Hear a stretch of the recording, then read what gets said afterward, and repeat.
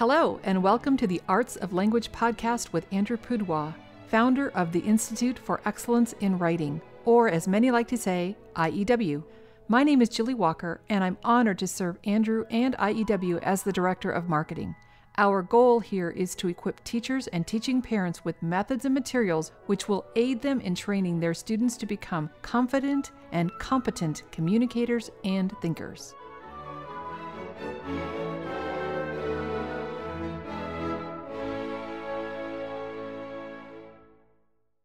So, Andrew, can you believe that we've been doing podcasts now for over a year? This is episode 80. 80? Wow. When do we finish?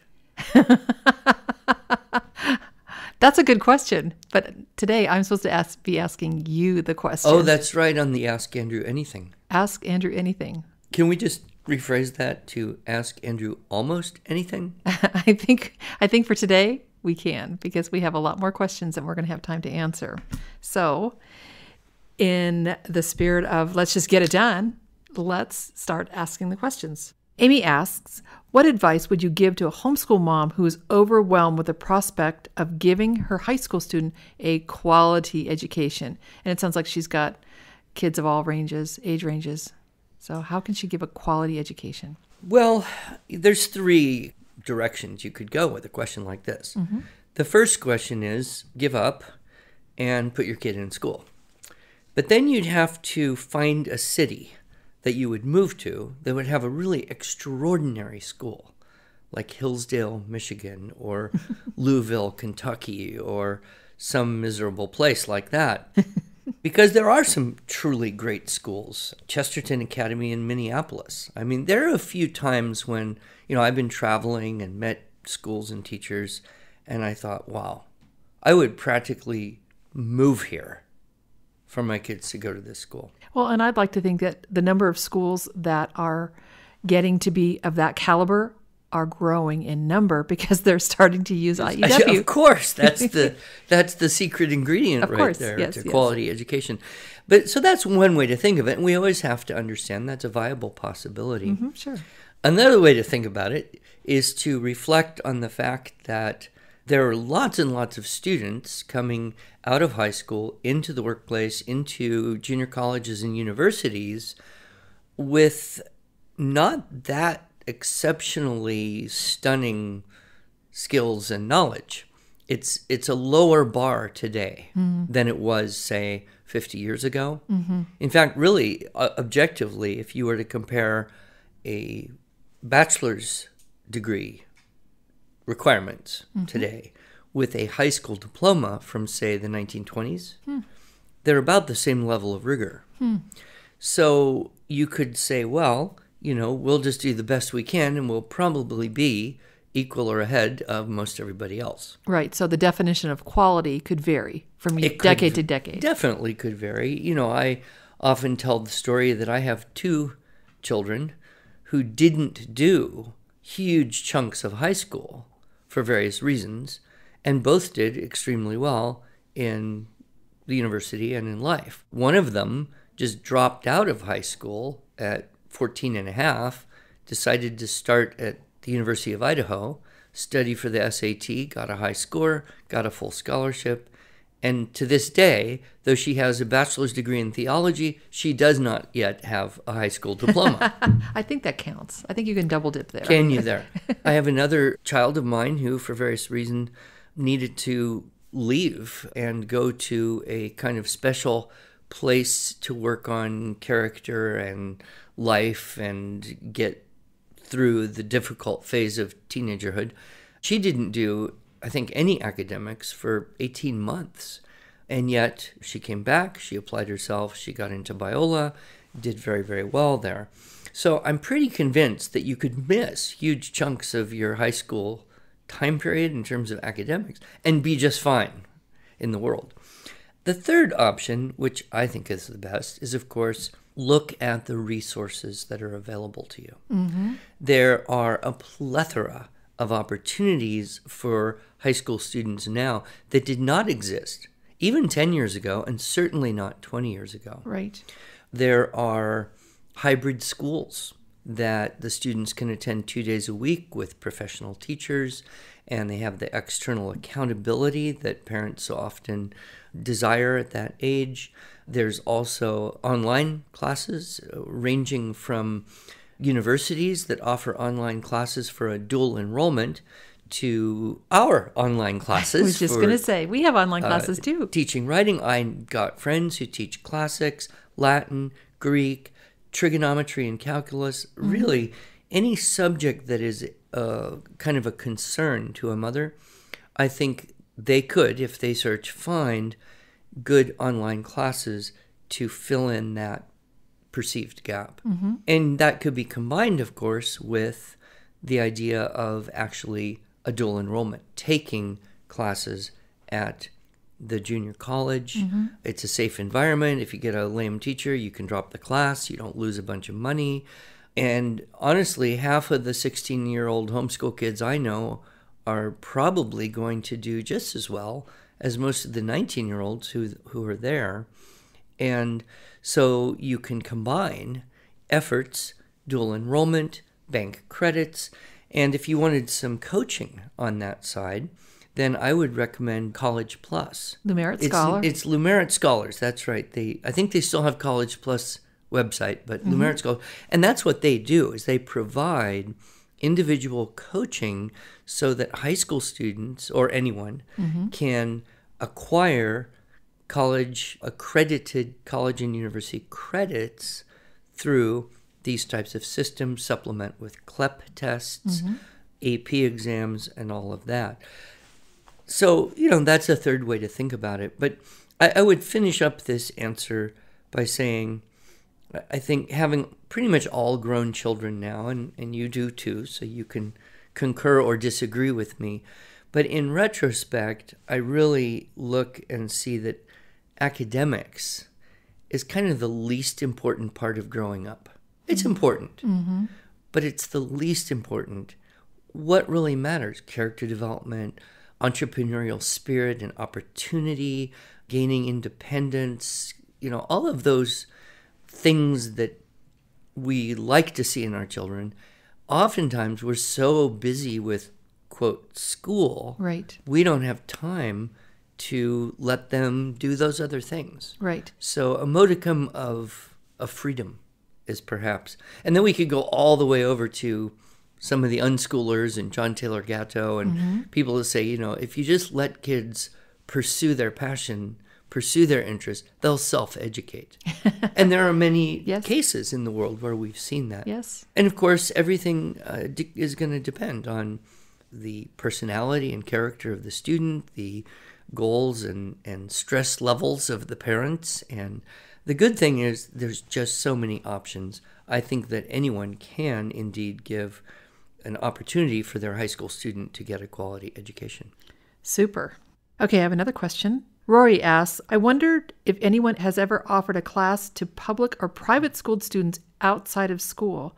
I know several students who would benefit that do not homeschool. I wonder if she's thinking specifically of writing. Well, I'm assuming that she's asking us that question. Right. There are, of course, any number of people who offer things like Kumon Math, mm-hmm. Mathnasium, Sylvan Learning Center.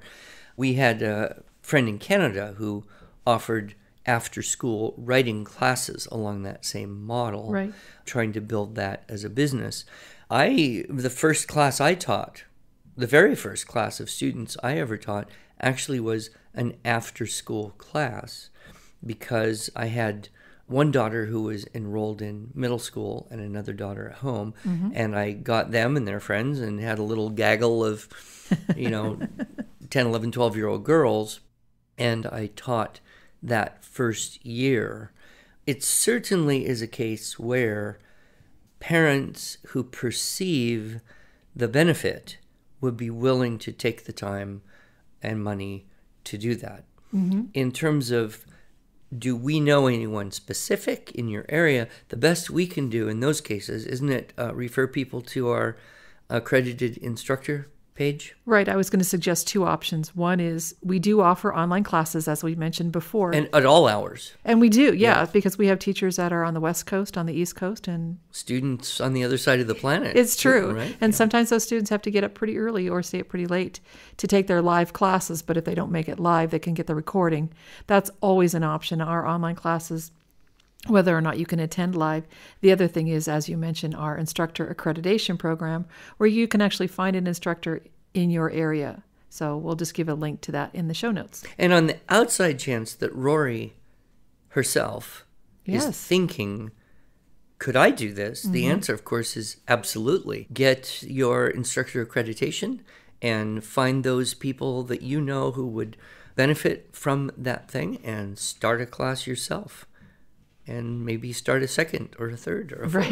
Right. Who knows? Could become a full time job. Right. And I think of the homeschooling moms that are homeschooling mom emeritus, like I am. That could be a little business or it could be a big business. We know people Well, that that's do that. great, but don't you get any ideas? Okay. Thanks, boss. okay. So the next question is from Charity. She asks My daughter will be participating in the IEW portion of Essentials with Classical Conversations. Mm-hmm.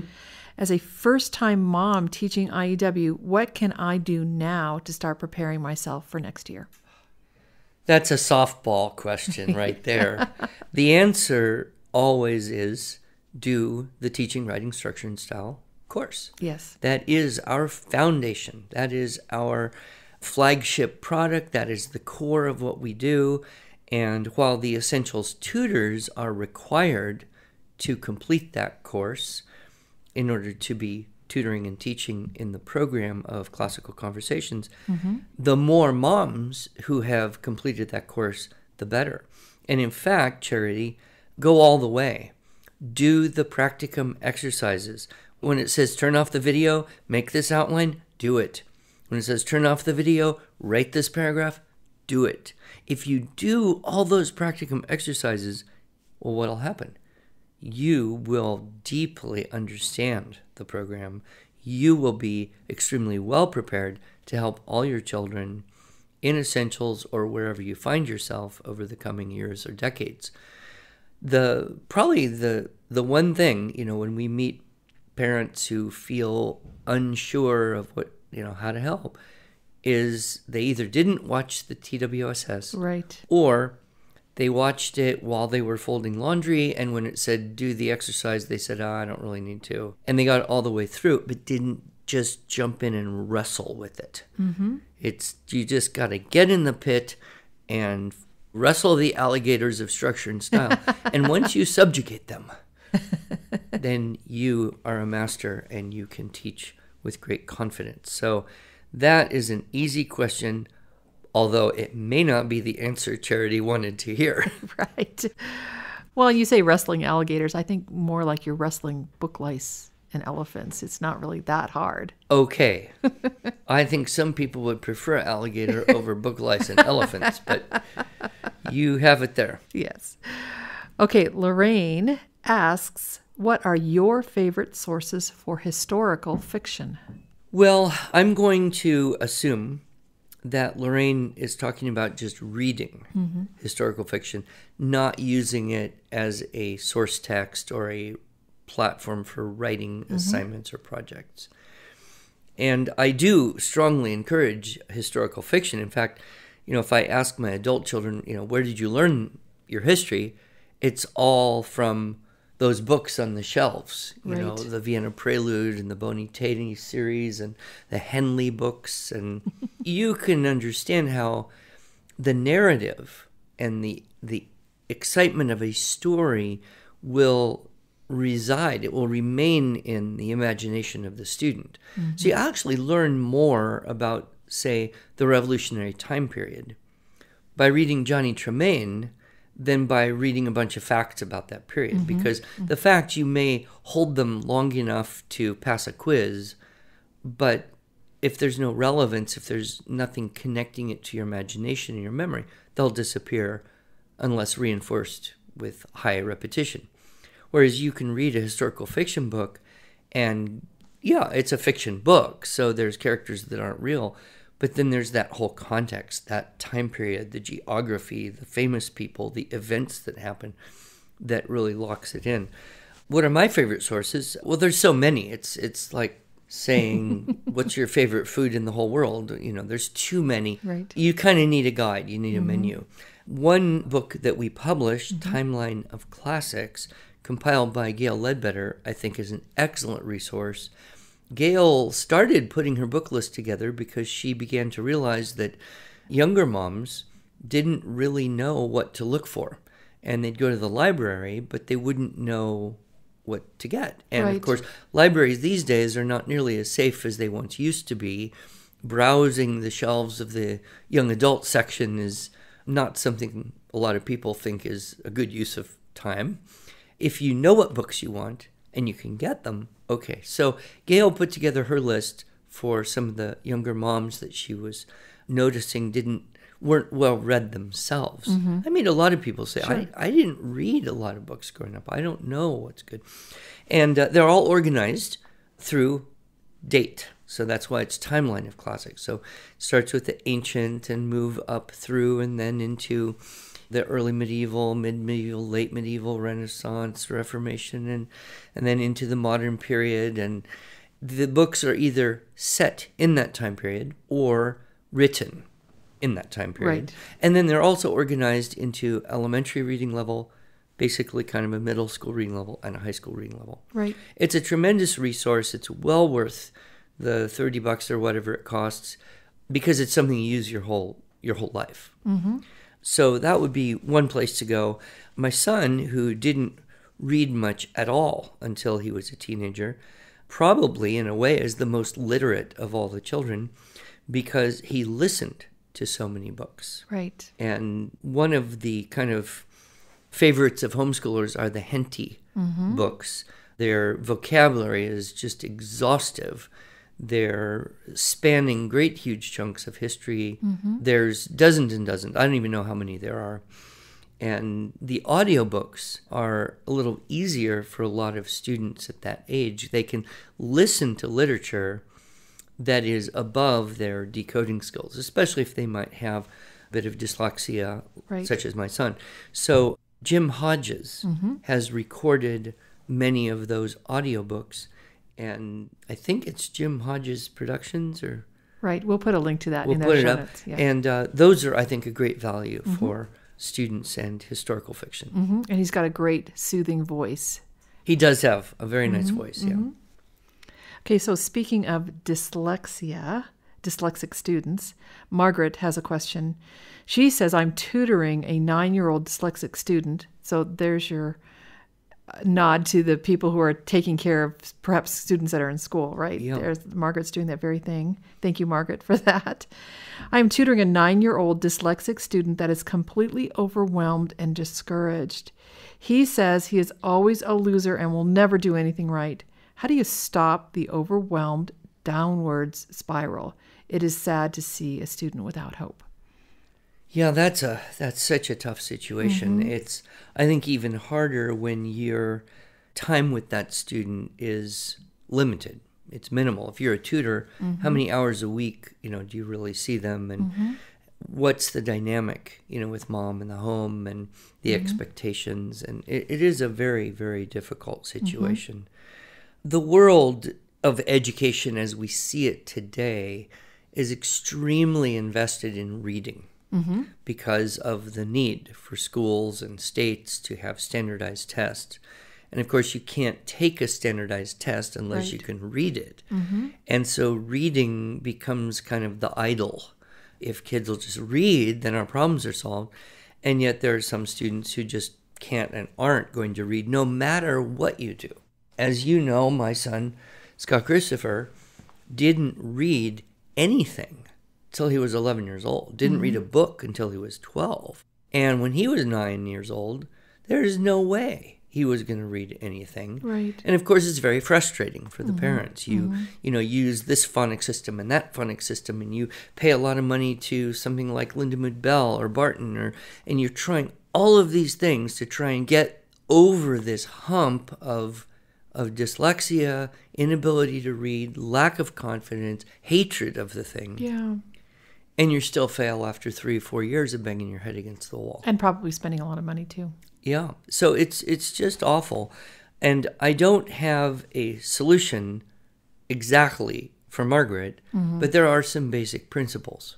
Mm-hmm. One thing to remember is that this student is not the only boy in the world who is not reading and may not read until he's older. Mm-hmm. I know personally five men with advanced degrees, two of whom have PhD degrees, who didn't read a book till they were teenagers. Hmm. It is not uncommon to meet men who did not read at that age. And one of the problems of our modern education is we tend to compare children with other people's children. We compare the boys and the girls, we compare all the nine year olds. We mm-hmm. and and somehow this idea that oh no, this child is behind. Well, that seeps right through to them. And if you're behind, Right. that means you're not good. If you're not good at something, it means you should quit. And I think that one one thing I would love to suggest, if Margaret is listening, if the mother of this student could perhaps also listen to my talk on teaching boys and other children who would rather be making forts all day, Right. because the whole second half of that is about the basic principles, the laws of motivation. Mm-hmm. And when you're failing in something, whether you are or not, if you think you're failing in something, then you're going to not want to do that thing. Mm-hmm.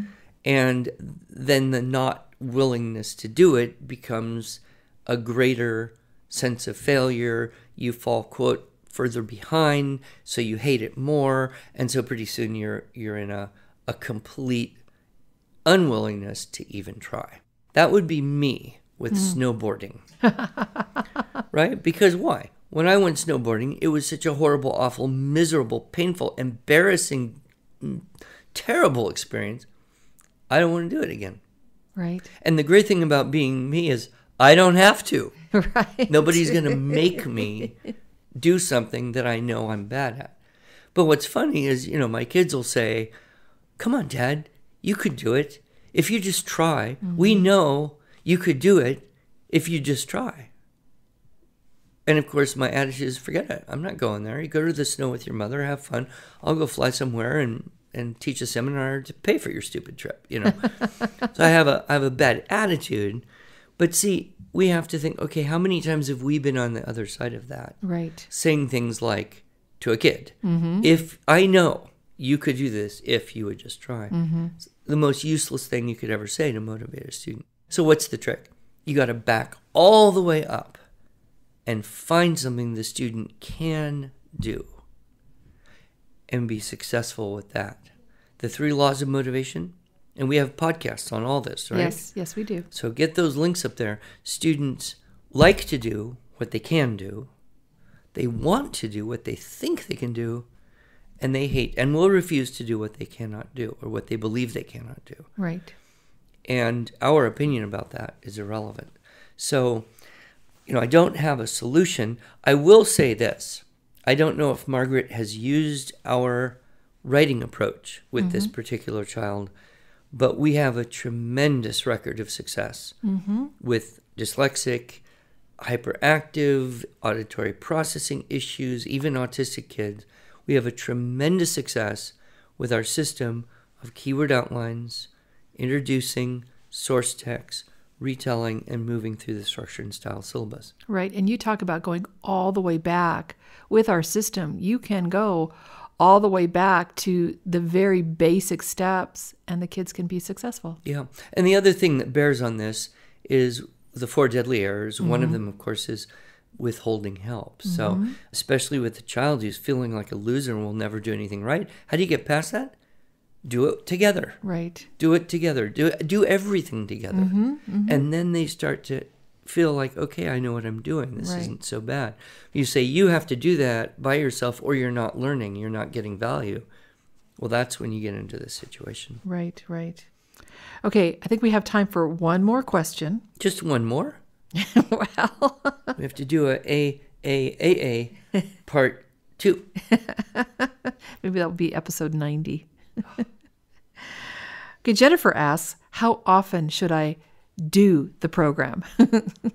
Well, the answer is always in an ideal situation, you do something every day. Right. That's an ideal circumstance. That doesn't always happen.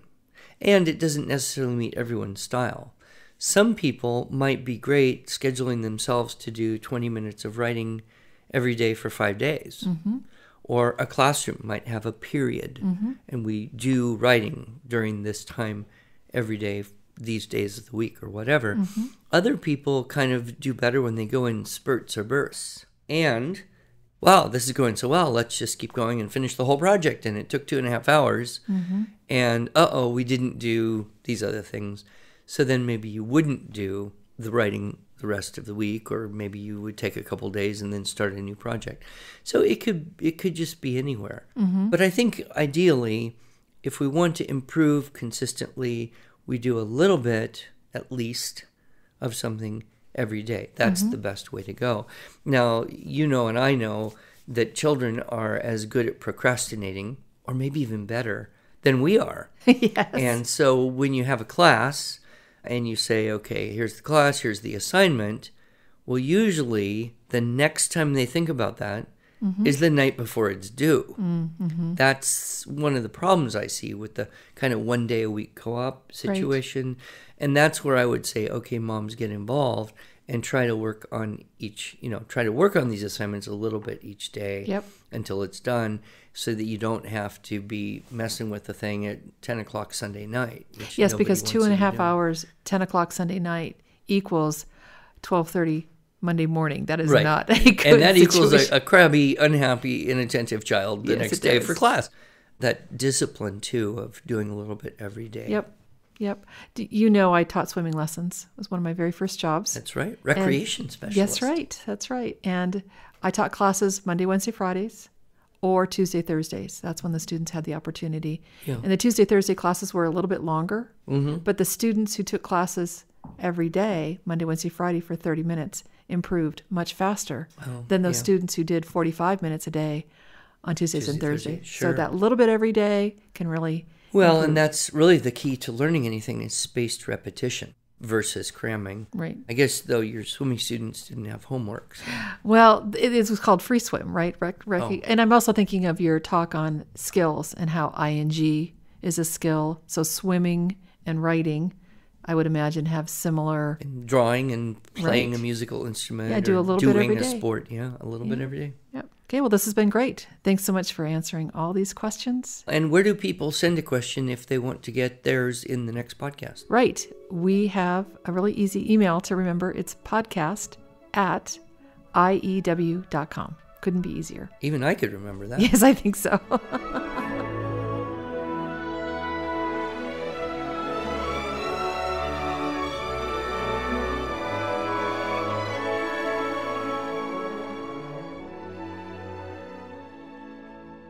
Thanks so much for joining us. If you enjoyed this episode and want to hear more, you can subscribe to this podcast in iTunes or Stitcher, or just visit us each week at iew.com slash podcast. Until then, on behalf of Andrew Pudewa and the team at IEW, I thank you for the privilege of allowing us to partner with you on this educational journey toward better listening, speaking, reading, writing, and thinking.